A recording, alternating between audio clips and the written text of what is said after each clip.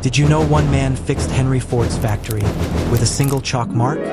He looked like a mad scientist, hunched back, wild hair. But Charles Steinmetz was a genius. One day, Ford's generator broke.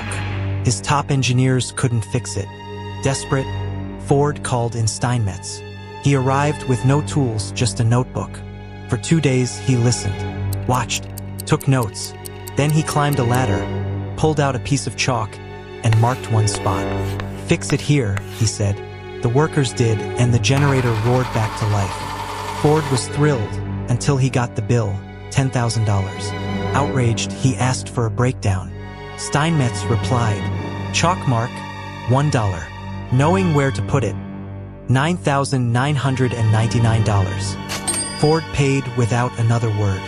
That's how a four-foot-tall wizard fixed what no one else could, with silence, science, and one perfect mark.